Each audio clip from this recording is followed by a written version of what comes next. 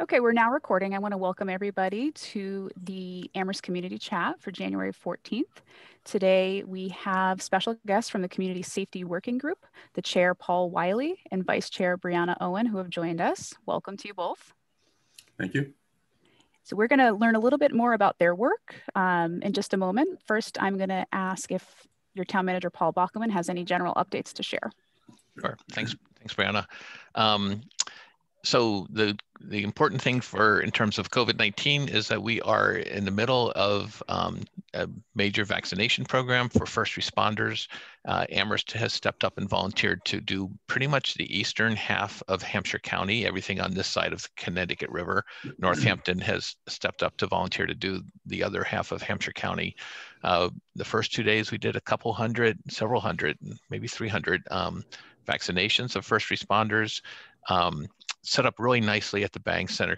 credit to Emma Dragon, our new public health director, for pulling us together. And you know, our fire chief uh, Tim Nelson was there, and he, he, claims he didn't cry, but um, but he was very proud to be one of the first ones to get his vaccination, um, and felt it was really important for him to be out there in front to show folks that uh, this is a good thing to do. A very high percentage of our firefighters have already gone through, so that's really good good news. Uh, and it felt like for all of us, you know, like this is the we're turning the corner. We're starting to grab, take back ground. It's a long journey. You know, we got it took us a long time to get to this point. So it's really it's really felt like a really good thing and hoping to expand that vaccination program farther and farther out to other people, which we'll be talking about next week. Yeah, and I will mention, based off of what Paul uh, Paul said, just to really clarify that this phase, this clinic this week is only for eligible first responders. We've had a lot of calls from different groups um, interested in trying to to come down to the uh, vaccination clinic, and we will be widely sharing that information once other groups are eligible. Uh, but right now, it's just first responders. Okay, so um, to start off, I'd love Brianna Owen to uh, introduce herself and take it away. Hi, everyone. I'm really excited to be here today. My name is Brianna Owen. I have been a resident of Amherst for about the last 10 years. I graduated from Amherst High and I actually graduated from UMass Amherst too. Um, right now, the type of work I'm doing is working in child advocacy. I'm the director of a local program at a nonprofit to specifically aid um, young people in the foster care system aging out with little social support. Um, outside of that, I really look forward to doing this type of work and doing my part with police reform because the same way that there's intersections with race in the child welfare system, there is intersections with race in law enforcement and areas for improvement. Um, so yeah, I'm Brianna. Thank you guys. Thank you, Brianna. Um, and next I'll ask the chair of the Community Safety Working Group, Paul Wiley, to introduce himself. Good afternoon. My name is Paul Wiley. I've um, been a resident of Amherst since 1982, uh, coming from New Haven, Connecticut. And uh, when I came here, I began working um, as a, a, teacher at the middle school. And then I went through uh, the system, became a guidance counselor, and ultimately a principal for the last 18 years of my career as the principal at Crocker Farm Elementary School. Uh, since my retirement, I've been working with um, uh, different organizations to work with school leaders uh, in doing uh, leadership coaching, delivering training and workshops, and um, you know participating as much as possible in community life. There was a point in time when I was on the ABC committee one of the board members for three years, and I was their vice chair. And uh, currently, I'm happy to be serving on the uh, Community Safety Working Group. This is a, it's an opportunity for us to do something more for our community. And so uh, I was happy to be asked and certainly happy to be chosen. So I'm glad to be here. Okay, thank you, Paul. I'm going to take this opportunity to remind those who are joining us live. Um, you, we encourage you to ask questions either by rising, raising your hand in Zoom or star nine from the phone. Um, alternatively, you can use the Q&A function that's built into Zoom and we will read your questions live. So feel free to do that throughout any point um, during our conversation today. So I think one of the natural first questions for those who aren't familiar with the Community Safety Working Group is to um, perhaps tell us a little bit about the group, uh, what its mission is, and where you're at in that process. Um, so I'd invite um, both of you to, to speak to that. Uh, and if you want to answer different elements of that, I'll, I'll start with, with you, Brianna. Um, okay, so the Community Safety Working Group right now is a board of eight people who all come from different walks walks of life in the community. And I think one thing that's really important about this group is that we all bring different experiences, both professionally and personally. Um, our charge or purpose is to think about alternative safety methods for the community and also make recommendations for the current oversight of the Amherst Police Department. Great. And Paul, would you have do you have anything to add to to that description? Uh, not much, uh, with the exception of just to say that um, we've been meeting since uh, the first week in December. Uh, with the exception of, I think, the last Wednesday, we we did not meet for because people were on vacation, et cetera. But we've been meeting weekly, and the meetings have been generally well attended uh, by the public. And um, you know, we're having an opportunity to have these discussions um, openly uh, with people listening in to what we're talking about. And we've received a, a, a, some very strong feedback from, from folks. We're hoping to get more. Um, one of the, we, we have a, number of things that we do um, in addition to what, what Brianna mentioned, but we're, we're, we're trying to uh, learn more from the previous work in a town uh, through previous studies and committees. We're e examining uh, current public safety services. Um, we're reviewing policies and current training practices, for example, the police department, exploring different models that might be applicable to, uh, to Amherst, or at least get ideas from. And we're collecting data, both personal narratives and uh, you know statistical data for you know from the community, which will inform our work. We are still very early in the process, even though we've been meeting each week, and we do have uh, questionnaires out. We'll talk a little bit about that in a moment. We um, we have a website presence under the uh, uh, amherstmass.gov website. So there are places where people can, can interact with us in that way. And most recently, we're reaching out to, uh, with more specific questions and comments to the Amherst Police Department.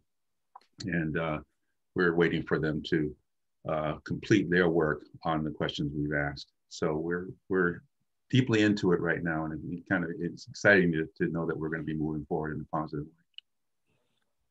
Great, thank you, Paul. And we, we do have a live question from the room um, from Sarah, and it kind of touches on some of the things you just said, but um, maybe there's more information you can share.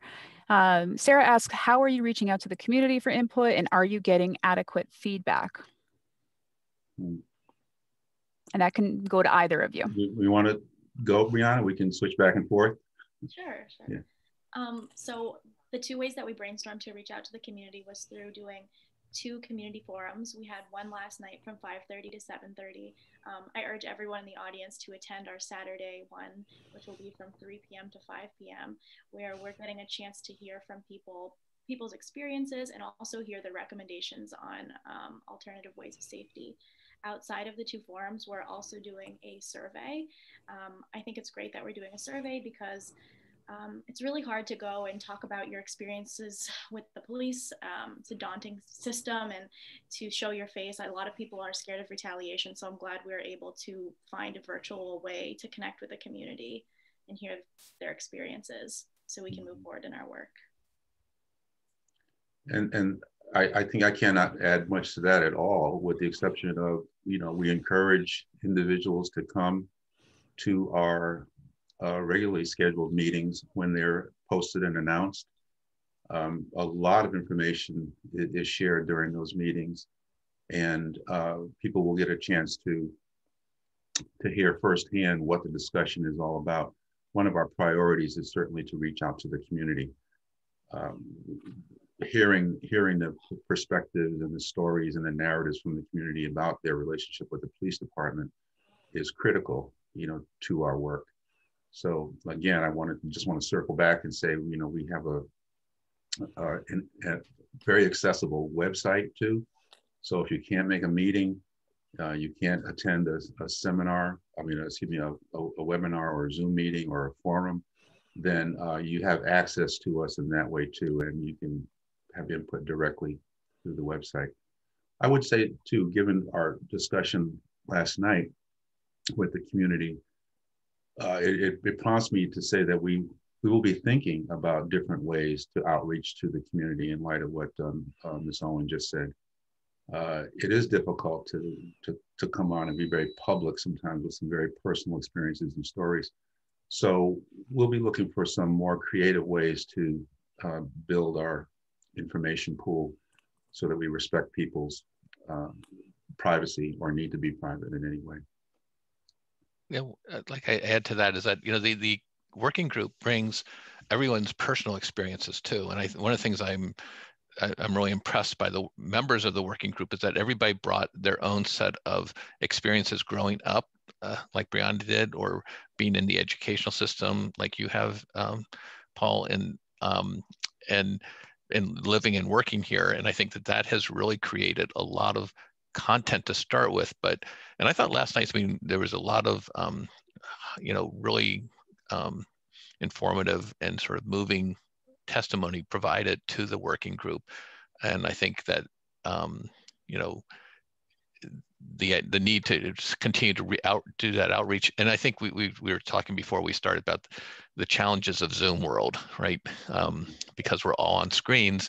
If you're if you're able to gather in person, it would be easier. But I think the working group is like taking on that challenge and figuring out how do we move forward on that. So, mm-hmm. and so I thought last night's meeting is a, a solid two hours, you guys. Um, and um, and then as as uh, Brianna said, you know, Saturday again, three o'clock Saturday is another opportunity to participate live. Mm-hmm. And I'll just going to do another call to the, the folks who are live. I did see a hand fly up, it went down. Um, feel free to put your hand up and I can bring you into the room so you can make your comment or ask your question, or you can use the Q&A function if you feel more comfortable and I'll read your comment and question. Um, one question that we do have here is, um, what made each of you interested in participating in this work and why now? Um, what about the times has led you to, to, to join to this group? Mm -hmm. Well, for, for me, um, I've had uh, lifelong experiences with the police departments in the different places I've lived. I had an opportunity to, I mean, I grew up in New Haven, Connecticut, and one story I share with folks often is my first relationship with a police officer was my uh, Little League coach. And I did not know he was a police officer until one day I saw him away from the field, um, away from church, which we attended uh, regular basis. And I saw him in his police officer uniform. And I was shocked. I said, You know, you're a little kid. I thought he was a baseball coach, you know, but now he's this. As it turns out, uh, many of us young folks, at then I was 12, but continue to have a relationship with him and, and others. Um, at the same time, I think we knew even as young kids that there were problems in our community with um, enforcing the law and the police. Things certainly escalated over the years uh, as our political and social scene starts started to change more more rapidly and more deeply. You know, up to the current situation with uh, uh, George Floyd, for example.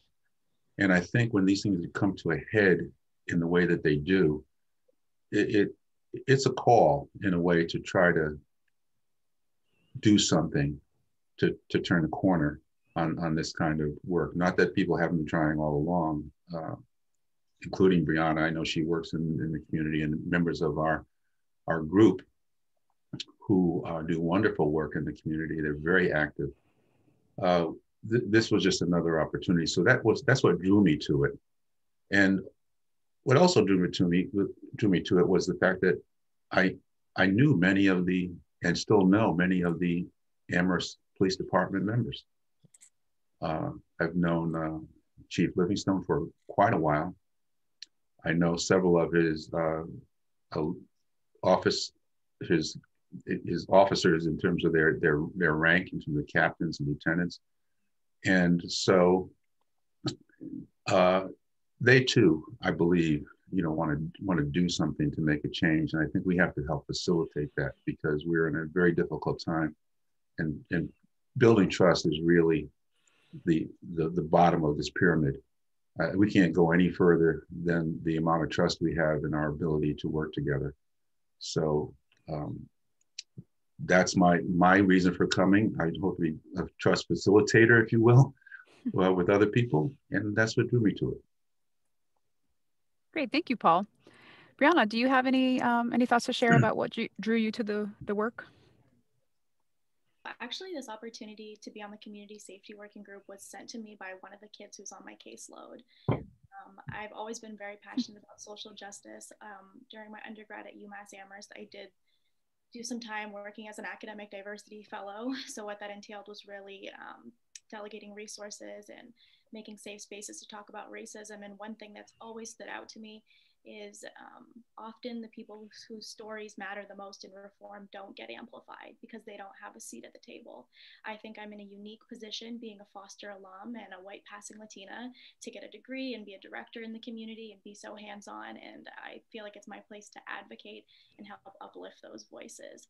I think we can all agree that after what happened at the Capitol, that law enforcement reform is necessary beyond like words can describe and i just want to be the change that i want to see in my community. Great thank you brianna.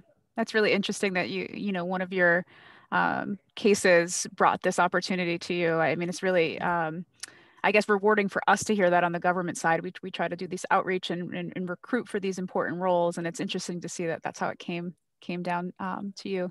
So I have a and question. That, oh. and, that they saw you as a leader, Brianna, that you should be standing up for this. I, that's that's really a credit to you, I think. So we do have a, a question from the room um, asking if part of your work is assessing how much police department time and money is spent on things that can be dealt with by civilians, uh, for example, mental health response or traffic details. Let me just say, um, the list of questions and um, and comments we post to the Amherst Police Department includes uh, that theme.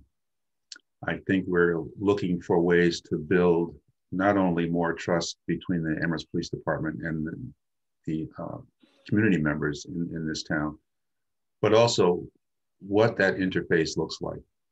We uh, we realize that the community wants to have a voice in how what policing looks like. They, they want to understand how um, the police use their time and their energy and their their enforcement uh, power, if you will, to do the right things for for the community. We we've had some discussions about homelessness. We've had uh, discussions about uh, young people in particular who uh, are often, often in many cities and towns, not just in Amherst, but come in contact with the police. And for especially for young black men of color, this becomes an becomes an issue. So we, we are we're, we are giving the the Amherst Police Department an opportunity to respond to, to those questions. And um, as we go forward, and um, you know this is this is coming up. We will be coming back to the community with a couple of reports. I want to say one uh, very soon, like an update about what's what's going on, and then in a summative uh, fashion uh, uh around June, we'll be uh, finishing up our work with recommendations. So I don't know if that's actually is in it. We're kind of waiting to hear question uh, answers to our questions we pose relative to what you're asking and the best people to go to is the Amherst Police Department themselves. Brianna, I don't know if I left something out there or you want to add? No, no you, you covered it. okay. And how, um, when are you expected to get those responses back and how will that inform your next steps? Well, we, we hope to, to get them back sooner than later. Let me just say we, we put information out um, pretty much at the end of the month and we anticipated there might be some delays in, re in responses to our questions, which were quite lengthy and quite broad in terms of what they covered. Um, and there were, you know, more than several categories.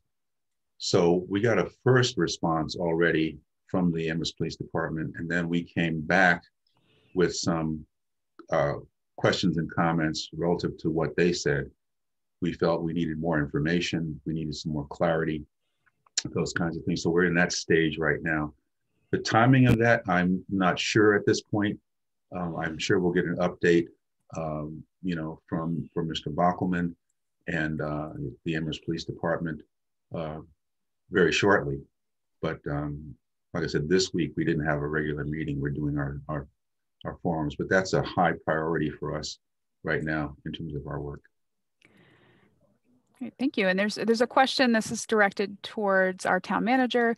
Do you expect recommendations to be incorporated or addressed in the FY22 budget? Yeah, I I do. I hope that it will. And I think that the timing that the council's vote was to uh, ask for a report of, an, of sort of a preliminary report at by the end of this month, which we will provide.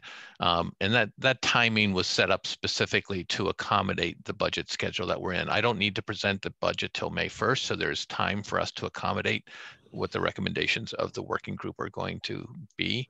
Um, and we already have that sort of um, notched on the side as like this is something we will want to address in the FY22 budget. Um, you know, the police department is working diligently on the follow-up questions. The, the, uh, working group had a, a, long series of follow-up questions and clarifications and requesting additional information. You know, I think um, they anticipate getting that to you ASAP, um, Mr. Wiley, um, probably Monday's a holiday, probably next week sometime.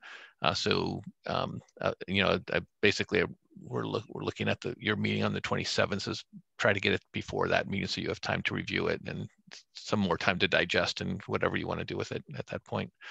Um, so yes, to the question, it, the intention is to um, address this some in some way um, indeterminate at this point in the FY22 budget.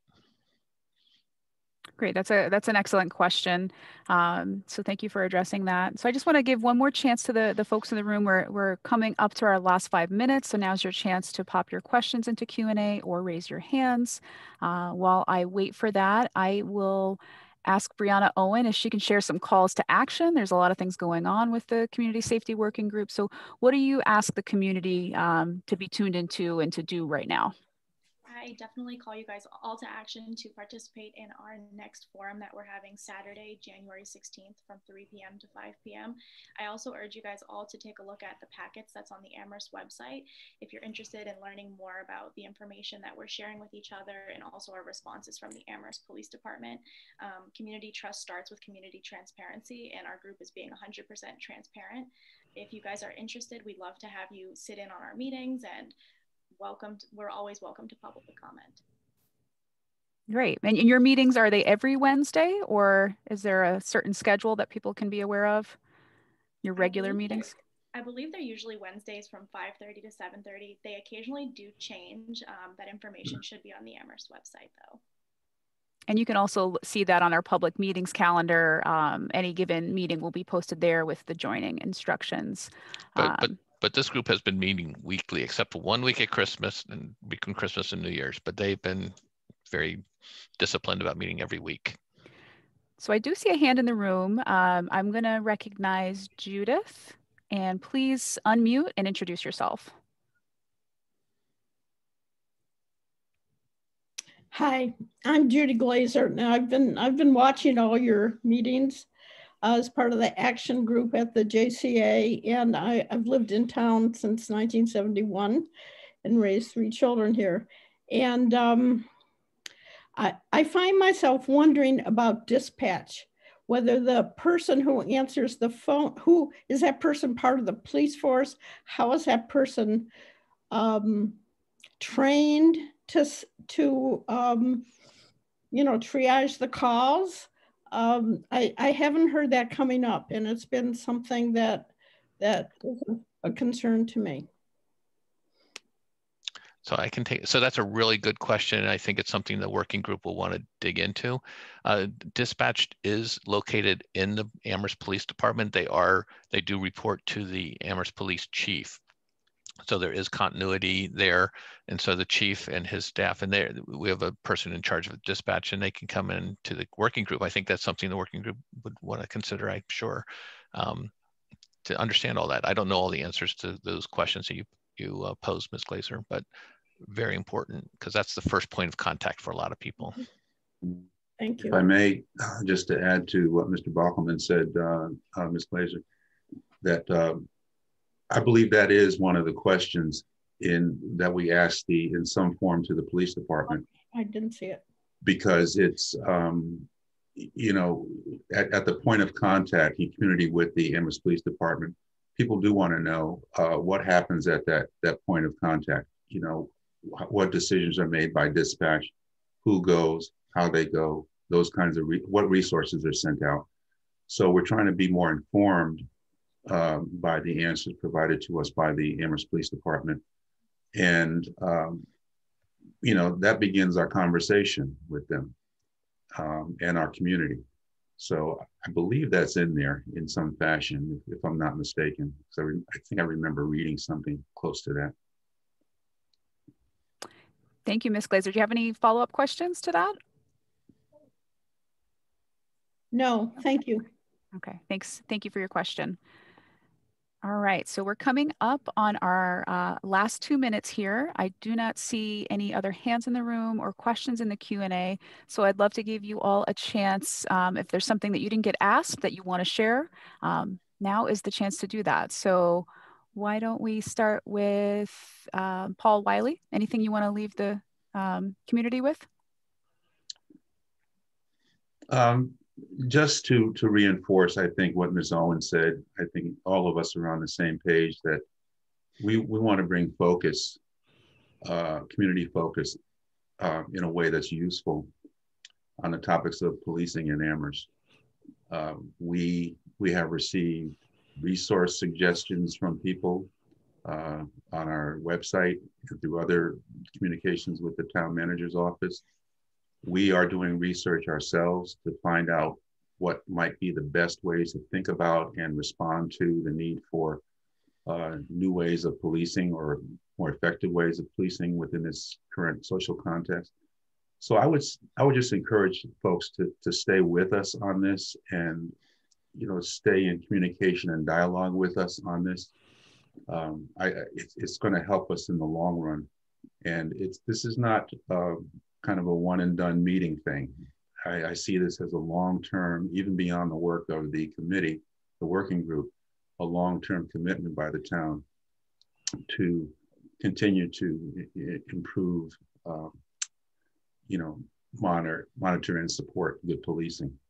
And I, I think we can get there we all have to, to stay with it and just hang in and be, be courageous about our conversations, if you will. So that and, you know, thank you, you know, for, for coming on, the people who came on today, and thank you for all the people who have been attending the meetings, some of you pretty regularly, I imagine. And uh, we're looking forward to the work going forward. Great, thank you, Paul. And Brianna, any any last words? I just can encourage you guys to continue to um, attend our meetings and also help lead our work. As Mr. Wiley had already said before, um, we do our best when you help us, when you pass resources along, when you attend and um, inform us. So I really encourage people to attend the Saturday forum from three to five. And, and the links for that meeting um, are on our calendar, but they're also on the homepage under the news section. So if you just get to our amherstma.gov and uh, scroll down to the news and announcements, you'll be able to get into that um, meeting via phone or via Zoom directly. Um, all right, Paul, uh, Mr. Bockelman, I got a different two Pauls, two Briannas. It's it gets confusing. confusing. So Paul B, any anything you want to leave our community with?